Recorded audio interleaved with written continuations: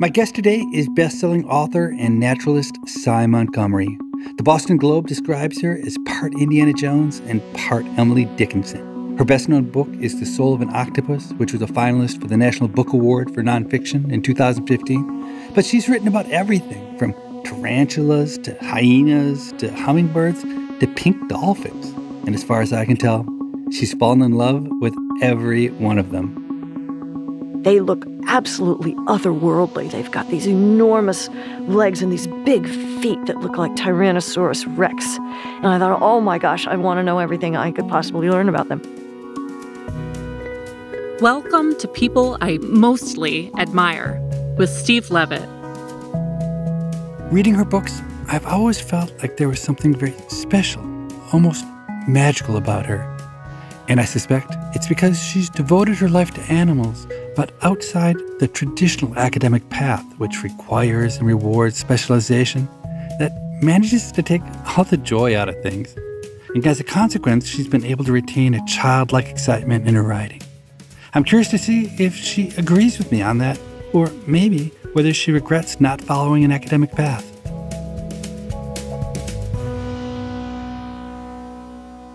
So, you've written that most of your teachers have been animals. It's true. Now, it's interesting because there are people who spend a lot of time with animals or studying animals who maybe don't recognize them as teachers. Well, a lot of people who study animals, they might actually, in their secret heart of hearts, admit that the animals have taught them a great deal. Because when you get to know what's been called the more than human world, you realize that and I'm quoting Henry Beston here, that they are gifted with voices we can't hear and gifted with senses that we don't possess, and that they are experiencing the world in this amazingly full and rich way that we can barely touch. For example, sharks can detect the electrical current of their prey's heart. Dogs can smell things that go right past us, and octopuses can taste with their skin. All of that out there is the real world. But it's the real world that we're not experiencing. But we enlarge our appreciation for the world when we get to know animals. When you wrote that animals were your teachers, it led me to ponder whether it was also true for me. And I started to think about growing up and I had a nice childhood, a good family. But one thing that was completely absent was any overt expression of love. To this day, I've literally never heard my parents or siblings say, I love you. And I was the youngest and I internalized that. But when I was about 12, we got a dog, a yellow lab named Princess. And somehow Princess became an outlet for love expression. So my parents would hug her and play with her and lavish loving praise on her, and I would as well. And it didn't change at all the way the humans in my family related to one another, but I saw loving expression and I got to practice it. And in my adult life, I'm a little bit ashamed to say that on most dimensions, I have repeated all of the same mistakes that my parents made in their relationships.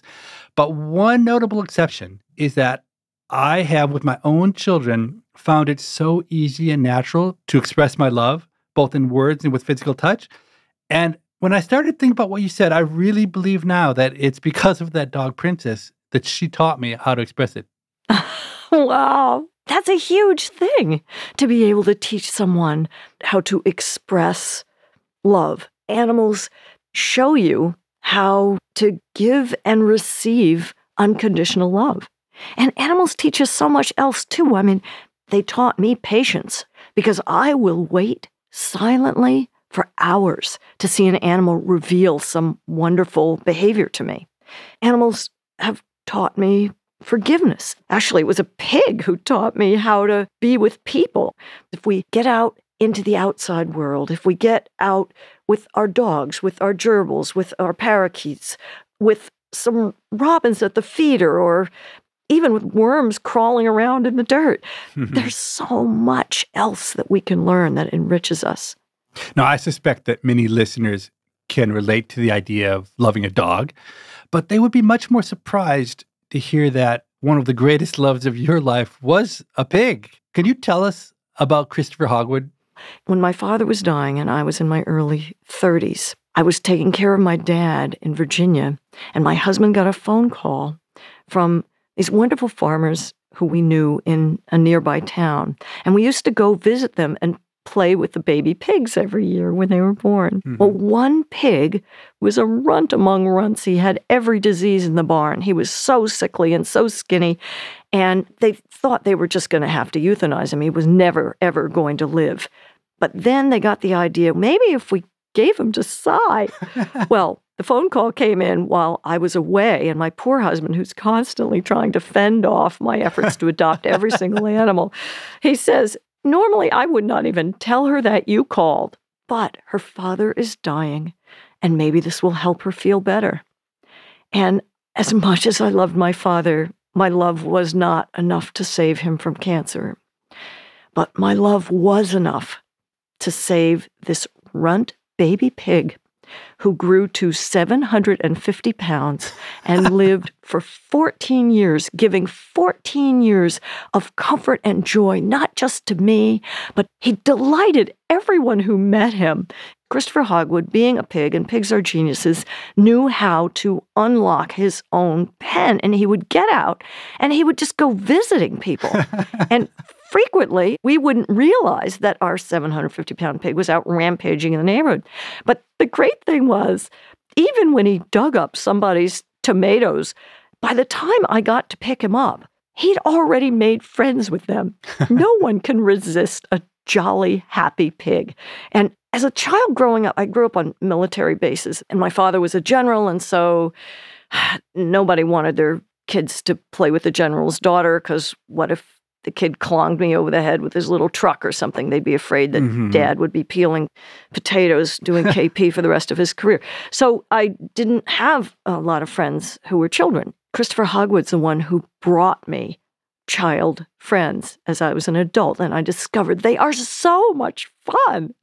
and so the little girls next door instigated the tradition of pig spa. They decided one day that Christopher Hogwood's tail needed to be brushed. It had this appealing ringlet, but after the long winter, it had grown dirty and matted, and so they had to comb that out, and then they had to to wash it. And then we started giving him these warm, soapy baths, and we were rubbing his hooves with this special stuff to make them shine. And soon all the kids in the neighborhood were coming and Christopher charmed them all.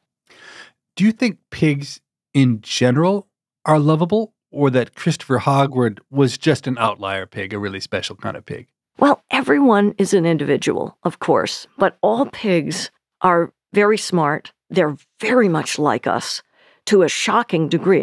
Not only are they physically like us in that they get many of our diseases, their skins will graft onto our own to the point that pigskin is used to help burn victims. But beyond that, we know pigs actually develop superstitions like people do. And I learned this from Temple Grandin, who's a friend of mine. She told me that in some feedlots, so that the biggest pigs don't get all of the food, they fit pigs with these electronic collars so that when they approach their food, a little door opens, which is triggered by the collar. Okay. And the pigs are curious about how did this happen? And some of them started doing these movements that they had done the last time they saw the door open, revealing the food. They would walk up towards it and stamp their trotter twice and wiggle their ears, and whatever it was that they believed would open that door, although it was in fact being done electronically by their collar pigs like humans need a lesson in correlation versus causality right. and which way the causal arrow goes.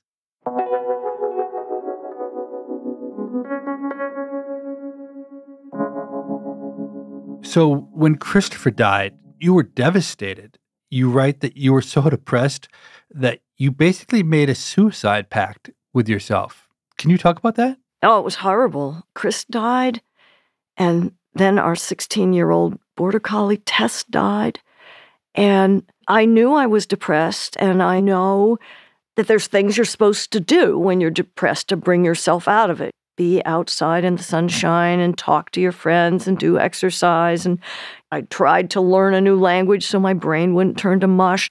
I was very aware that there was something wrong with me and it needed fixing. but it was almost as if the cells in my body didn't want to live. My mouth bled, my hair started falling out. Before the death of Christopher and Tess, I had committed to do two books. One was Quest for the Tree Kangaroo, and the other was my memoir, The Good Pig, that I wrote to honor Christopher Hogwood. I knew I had to write those two books. But the only way I could get through day after day of feeling this miserable was to promise myself that after I finished those books, if I still felt like this, I would end my life because I didn't want to live like that. And what brought you back into love with life? Well, one of the books that I'd promised I was going to do, and if I say I'm going to do something, I do it, was a book about my friend Dr. Lisa Dabek, who studies tree kangaroos in Papua New Guinea. And tree kangaroos are real. They're not like the pink elephants that come out after a few martinis. there are kangaroos who live in trees. And she studies the Matschie's tree kangaroo, who is orange and yellow and eats orchids. it's an amazing thing. And these guys, they live in the highlands of one of the least discovered areas on Earth, except by the native people. But the native people, actually, who live in Papua New Guinea, seldom go to the cloud forests where these tree kangaroos live. And so to do this book, I went to the cloud forests of Papua New Guinea. It was so beautiful and otherworldly. It felt like you were in heaven. Everywhere you looked, there's these trees festooned with moss, and everything is soft and springy and animals that look like something Dr. Seuss made up when he was mm-hmm. on an mm-hmm. acid trip are living everywhere. and I fell back in love with life that always has these surprises waiting for you. And even if my precious but little life had pain in it, the larger life, the life with a capital L, I wanted to be in that life. And in this way, the tree kangaroos saved my life.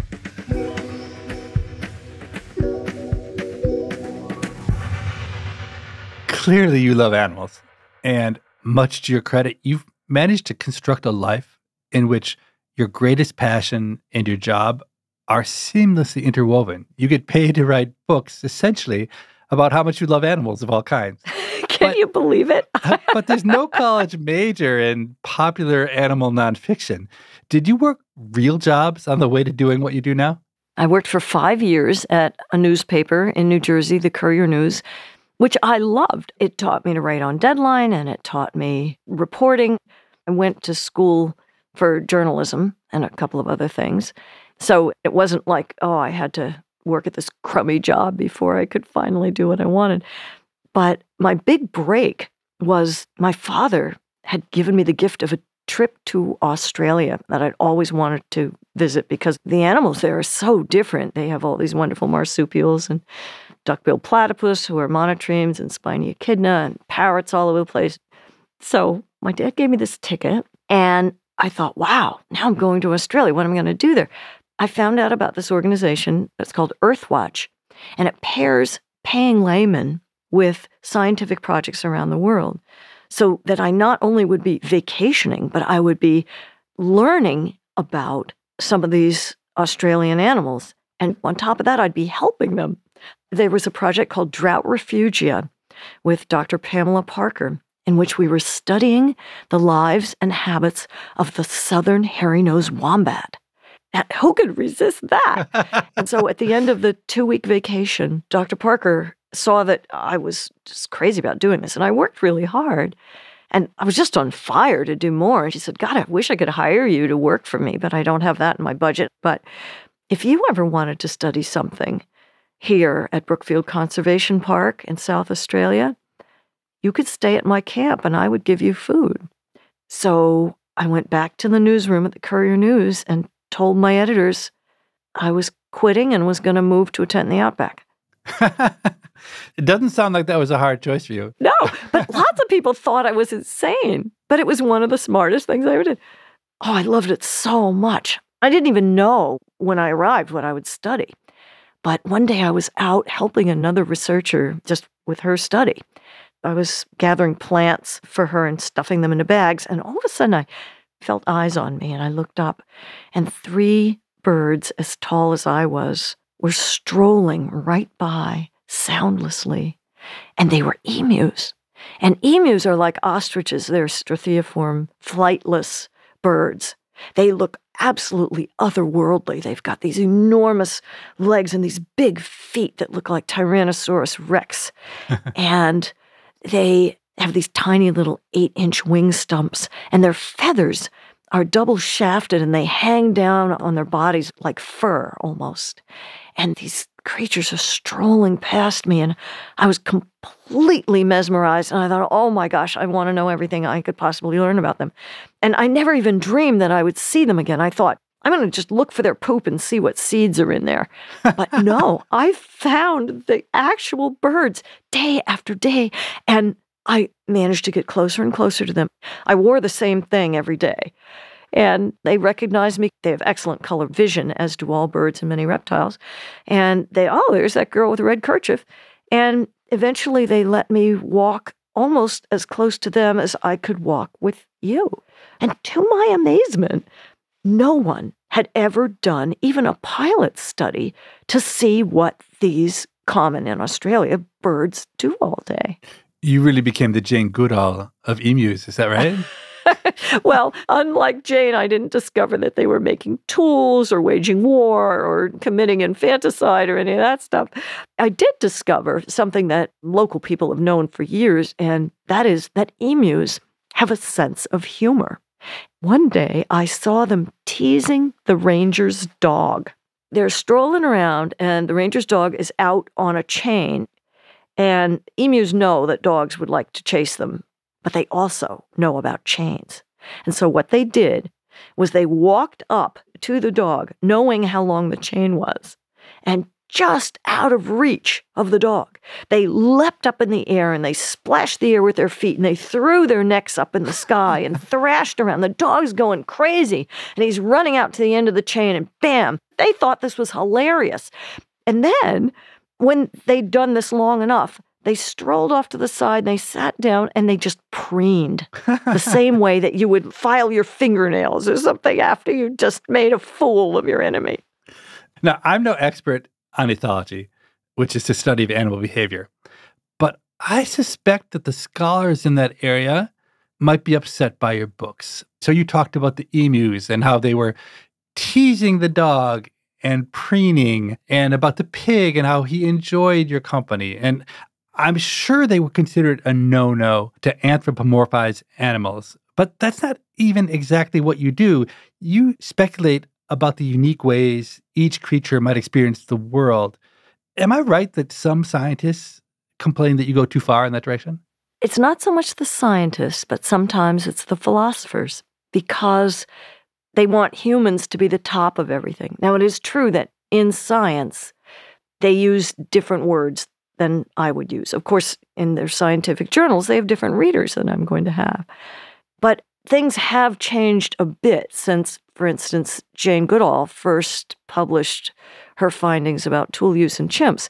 No one wanted to publish that groundbreaking paper because she named her chimps instead of numbering them. Wow. Uh-huh. Now, things have changed, and now people understand that job one is to identify each individual that you're studying because it really matters in animal communities who's who there actually is a field of study that's looking into animal personalities. I went on a personality survey with some of the top octopus researchers in the world in Moorea in French Polynesia, looking at octopus personalities. And we were trying to figure out is this octopus bold or shy? The person who headed that study, Dr. Jennifer Mather of Lethbridge, university in Canada, she was the one who pointed out to me that if we fail to talk about emotions in animals, we are overlooking a central fact of neurobiology. And that is that every animal that has ever been studied, when you try to look for the hormones and neurotransmitters responsible for all of our feelings, like joy and fear, like stress and love. we find the exact same neurotransmitters, even in taxa as different from ourselves as octopuses, from whom we have been separated for half a billion years of evolution. Oxytocin, you've heard of, is the cuddle hormone. Sure. And it's a hormone that causes us to affiliate with others. It's not just present when we make love and give birth and nurse. It's present when you're with your friends. They went looking for the same molecule in octopus and they found a chemical so like our oxytocin that they called it cephalotocin. It essentially does the same thing. So that's how alike we are. And we cannot even begin to understand the behavior of our fellow creatures if we deny that they have feelings, that they think, and they know stuff. And now it's emerging as a whole new exciting field of study. The scientific conventional wisdom for decades, hundreds of years, insisted that humans were unique on so many dimensions, like consciousness, the use of tools, ability to problem solve. Do you have a take on how these past scientists just got things completely wrong?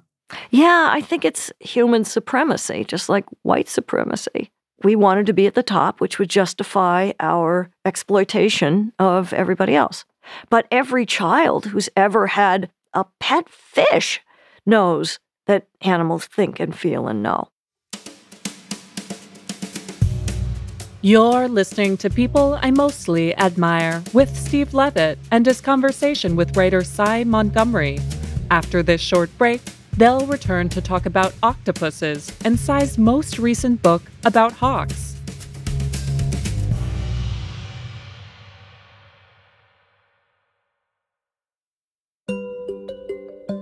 Hey, Levitt. Hey, Morgan. So now is the time when we answer a listener question. Our listener, named Mike, is an astrobiologist. He says that astrobiologists often distill life down to the universal laws that govern it, like thermodynamics, and then use those laws to predict how life might operate elsewhere. His question for us is Are there general laws or principles of economics that you think could be universal to intelligent life? And if so, could we use these universal laws of economics to make predictions about extraterrestrial societies on other worlds? Okay, so let me just start by saying I definitely do not believe there are astroeconomists, although perhaps by answering this question, I will become the first official astroeconomist. so, are there universal laws of economics that would hold in any civilization? There's one key thing you got to think about first, which is that economics is the study of scarcity. The only reason economics matters is because you don't have enough money or enough time to get all the things you want. Now, you could imagine a super sophisticated, advanced civilization having solved scarcity, right? So, if you had an infinite source of energy, then a lot of problems would go away. So, anything I'm going to say now only applies to a civilization that's still bound by the notion of scarcity. And to me, economics only has a couple really universal factors that I think would have to exist in any civilization. The first is that money would emerge. We take money for granted, but money is so efficient because absent money, anytime you want to make a transaction, you need to barter. So barter requires that the thing that I want is the thing that you have, and the thing that you want is the thing that I have. It's got to be this bilateral coincidence of wants and haves. And that's just incredibly inefficient. What money does is allows everyone to trade with everyone. The second prediction I have is that there will be specialization, that any civilization that exists would have people that will concentrate on doing the things they're good at. It's an idea that economists call comparative advantage. If I'm better at solving economic models and Morgan is better at producing podcasts, then Morgan's going to specialize in producing podcasts and I'm going to specialize in doing economics. Okay. And then there'll be gains to trade. So she and I can work together to make us both better off. That is such a fundamental idea. It's right out of Adam Smith. And I believe that you could not have a civilization that did not have this kind of specialization. Do you think there's other fields of study that have general laws or principles that would apply to intelligent life on another planet? I don't know. I suspect that almost every discipline would claim that they have universal laws. But then again, I wonder if you asked people who study, say, art history, whether they believe that the kind of art that would be done in a different universe would have any parallels to the kind of art done here. But I don't know. What do you think, Morgan? Well, as an art history undergraduate major and someone who worked in a museum for a long time, I would say that an art historian would probably just say intelligent life is probably going to produce art. I think just the act of creation that celebrates society would be an act of intelligent life. But you don't think they'd be able to say whether they would use marble or acrylics or watercolors to do their art? Well, no, we're talking about extraterrestrial society. So maybe they're making mind art for all we know. I agree. Mike, thanks so much for your question. If you have a question for us, we can be reached at PIMA at freakonomics.com. That's P I M A at freakonomics.com. It's an acronym for a show. Steve and I read every email that's sent, and we look forward to reading yours.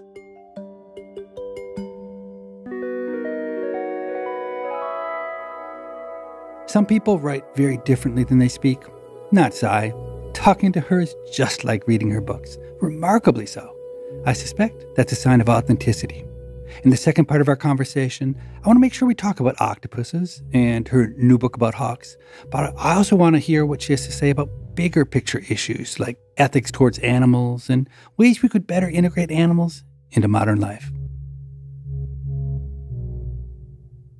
So, you've written about an astonishing array of animals tigers, pink dolphins, tarantulas, and hummingbirds, just to name a few.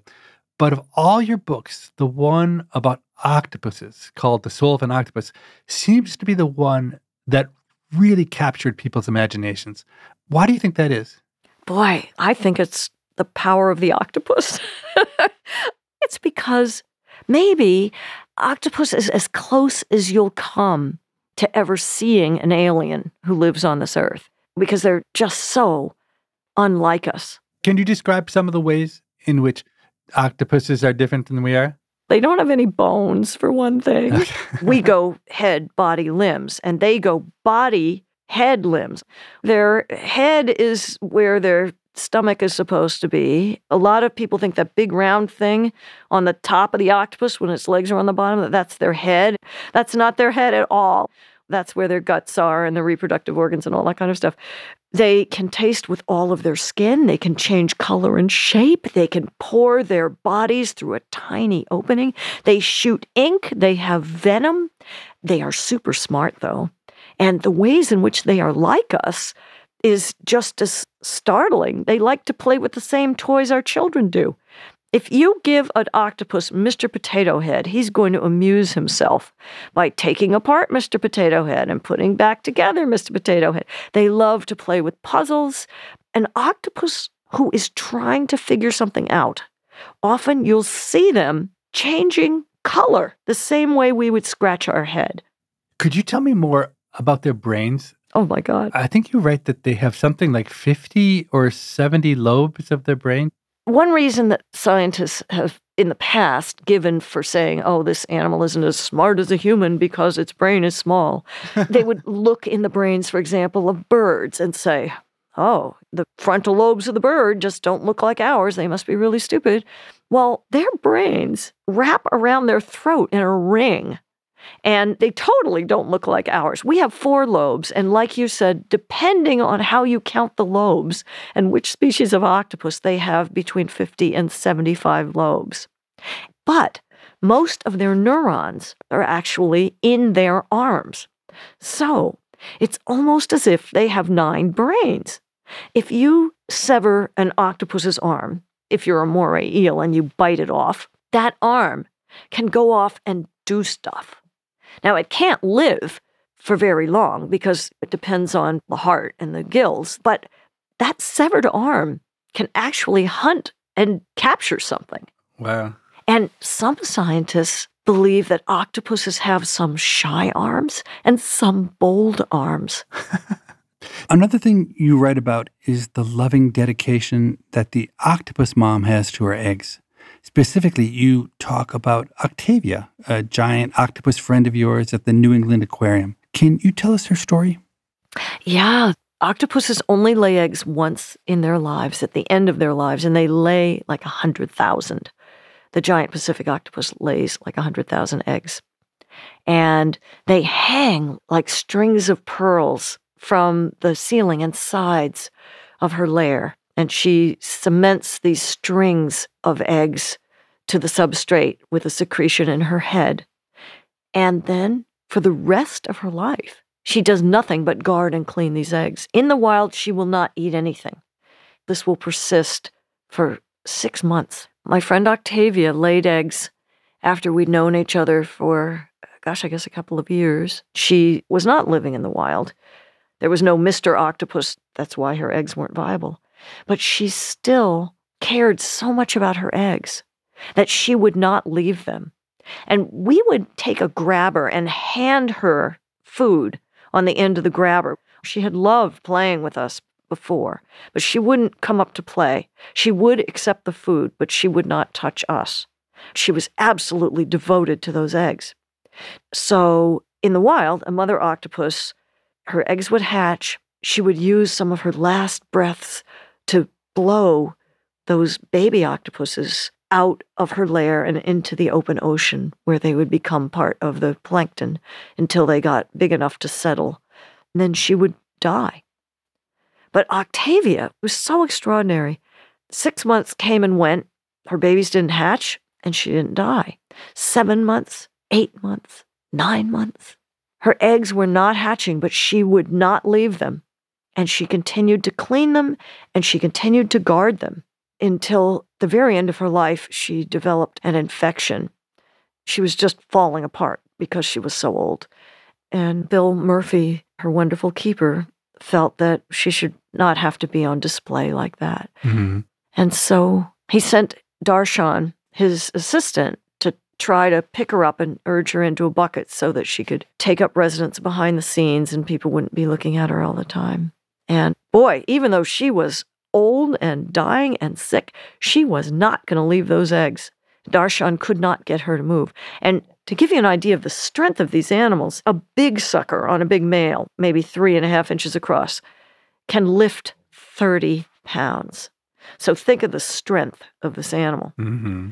So Darshan wasn't going to get anywhere with her. But then Bill, who had taken care of her every day of her life, even though they had been essentially apart while she was in her lair for almost 10 months, I think, at that point. He put his hand in, his ungloved hand, and they can taste with all of their skin. She tasted her friend and recognized him, and then she let go, and Bill was able to put her in the bucket. And I came in a couple of days later because I knew she was on her last legs and I wanted to say goodbye. We had not played with each other for nine or 10 months, and octopuses only live three to five years. So we had not seen each other for the equivalent of several decades in terms of chunks of her life.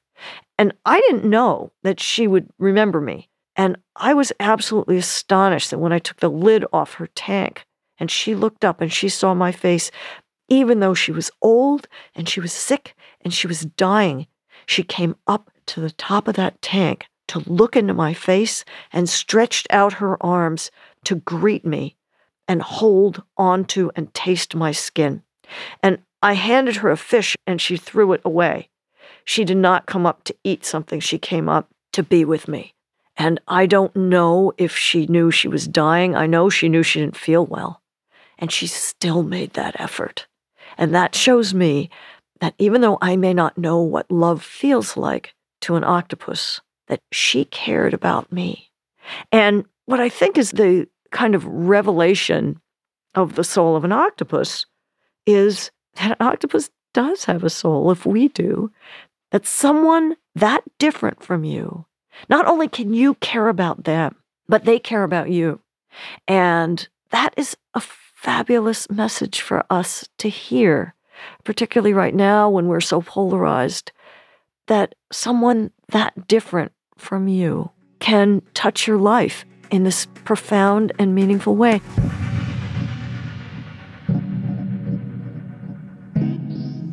So, your latest book, which is due out in May, is about hawks.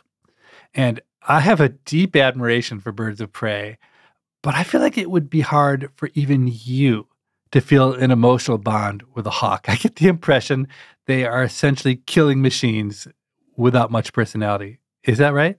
Well, God, that is a feeling you can get from watching a hawk. Hawk's greatest heart's delight is to chase a prey item and kill it. Not just because they want to eat it, but they love doing it. They excel at it. And I wanted to know someone like that. Hawks don't want you to touch them. A hawk is not going to cheer you up when you feel sad, the way a dog is or a cat. A hawk is not going to come to your rescue if you're in trouble. But I found knowing someone so courageous, so single minded, so talented, so beautiful, so gracious, I could love them without needing them to love me back. So when you're with these hawks, they're obviously eating prey. Do you side with the hawks against the prey, or are you secretly hoping the prey are going to get away? Oh man, this is so hard. But if we think back to the last National Geographic special you watched, if you're watching the one about the wildebeest, you want the wildebeest to get away. exactly. But if you're watching the one about the lion, you know, the mom's got to feed her cubs, and you're like, get that wildebeest. So true. So this was what kind of happened to me. I could feel how much the hawks I worked with wanted to capture prey. Falconers call this yarak. It's this wild ferocity. Ferocity isn't necessarily evil or bad. We talk about fierce mothers, for example, fierce love. And when I went hunting with a hawk, I was blinded to everything but that hawk's desire.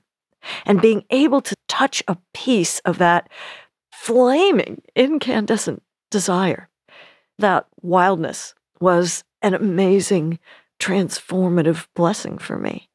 I was in Costa Rica on a nature tour a few years back. You'd see things that were harsh, injured animals dying, predator and prey, etc. And the nature guide, the local who was leading us around, she always said the same thing. She'd say, Is nature, is okay. Mm-hmm. That was a response to anything bad that we saw. Is nature, is okay. I think in some sense, that's the feeling you're tapping into as well. And the same thing happens when you travel anywhere, even in human cultures. You see somebody, you know, oh my gosh, they're wearing clothes made out of bark. That looks terribly uncomfortable. Should we take that away from them? No, this is the way that they're living. If we're too busy passing judgment on them and applying our standards to them, then we are going to miss the whole point of that travel.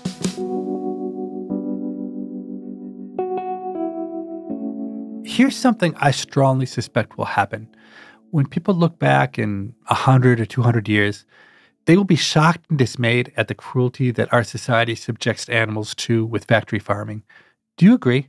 A hundred percent. We will be appalled. And that's why I became vegetarian years ago. Now there are farms that raise animals and slaughter animals in a more humane way, but I'm still delighted that I'm not eating them. You made a really powerful case for the wonder of pigs. Do you think for people whose goal it is to get away from factory farming, that maybe the strategy they should be taking is trying to teach people about the wonderful personality that pigs have? Oh, I have gotten so many letters from people telling me that my book was the end of their bacon. And also, after Soul of an Octopus, many people wrote and said, you know what? I used to love to eat octopus. I don't eat it anymore. I love food and I love making food, but the taste of that item is on your tongue for less than a minute before you swallow something else.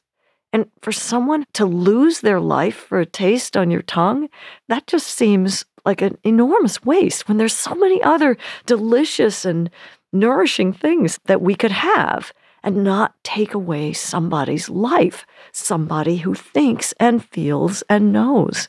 It's interesting to think about a world where humans stopped eating animals. So the population of pigs and turkeys would essentially go to zero. I wonder if there was a united federation of pigs, like a workers' union representing pigs, whether they would be in favor of pigs more or less disappearing or whether they would lobby for the status quo, as awful as it is. Have you ever thought about it that way? Yeah, I do because I think about humans disappearing. And I'm 64. I think about my own death. And I think pigs would not so much care that their kind persist in large numbers. Our numbers right now for humans is ridiculously large. I don't want to kill off a whole bunch of us, but our planet was not really built to hold 8 billion people. And rather than kill us off, it would be nice if we had fewer children who had greater resources and better access to health care. I don't think that we're all rooting for the individual numbers of our species to be larger and larger. I don't think that is how you win the game. You know what I mean? I mean, it's interesting though, because some philosophers believe that the maximization of welfare is adding up across how many people there are. And so more people, all else equal, is really good.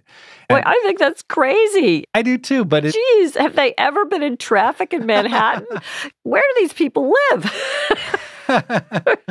they live in the ivory tower. So they have lots of space and access to good food and good health care.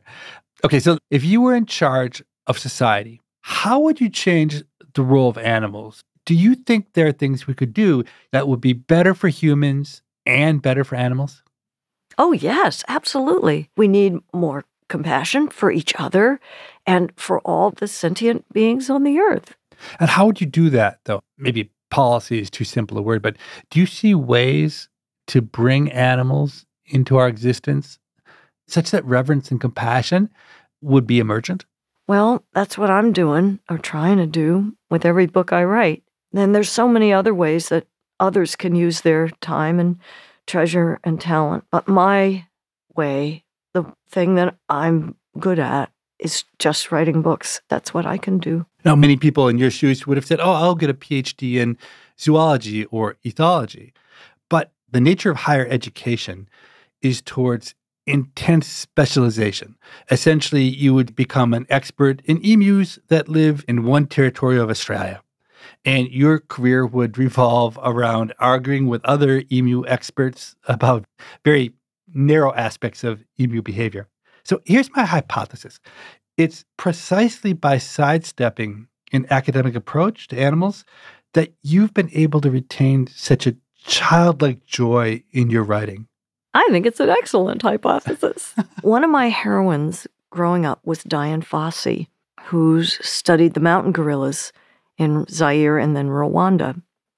She was a scientist, but she came to know and literally fall in love with the gorillas that she studied. She realized if we just study them, we will study them to death. She needed to be a conservationist and save them.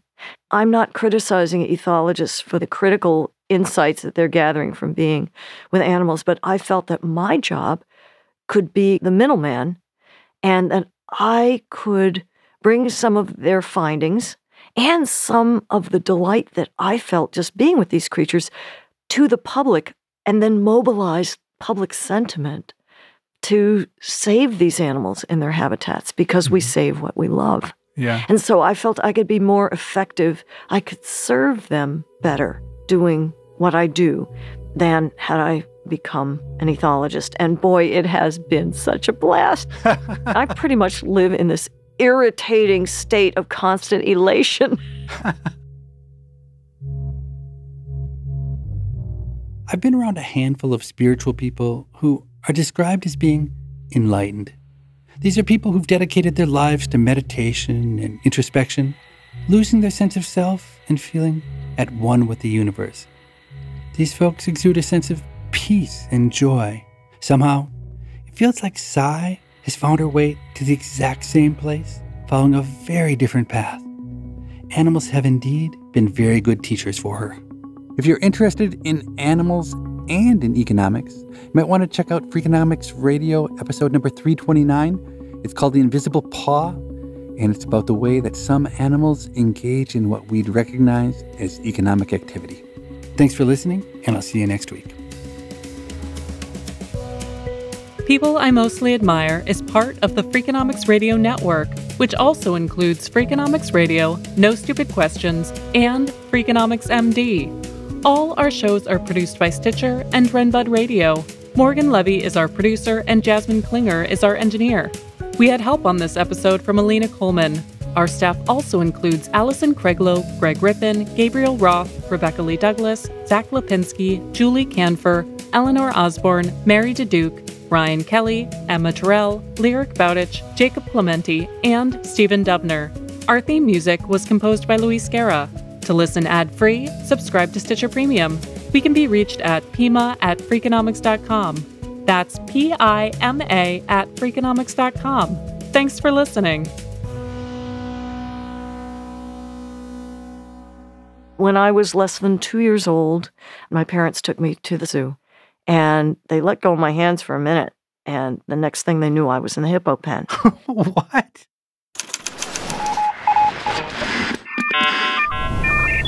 The Freakonomics Radio Network, the hidden side of everything. Stitcher.